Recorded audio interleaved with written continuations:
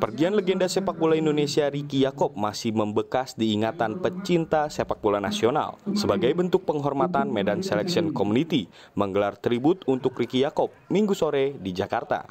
Selain mantan pesepak bola berdarah Sumatera Utara, acara ini juga dihadiri mantan Ketua Umum PSSI Agung Gumelar, penasihat teknis PSSI Danur Windo, serta keluarga inti mendiang Ricky. Sebagai bentuk penghormatan, MSC memberikan kenang-kenangan serta tali kasih bagi keluarga Riki.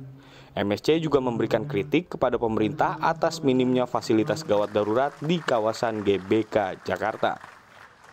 Buat saya sendiri dan keluarga sangat terharu dan uh, ternyata Riki ini juga orang buat kita ini adalah sebagai papa dan suami yang sederhana tapi ternyata dia uh, Rikinya sendiri sangat luar biasa dan satu lagi kenapa karena ternyata semua sayang sama Riki.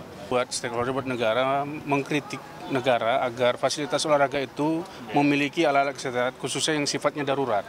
Ambulans, alat kejut jantung itu harusnya ada standar. Jadi ini pelajaran sangat berharga buat bangsa ini ke depan.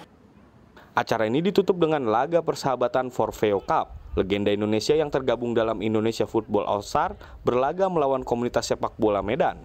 Angga Nuriski, Misbahul Munir, Kompas TV, Jakarta.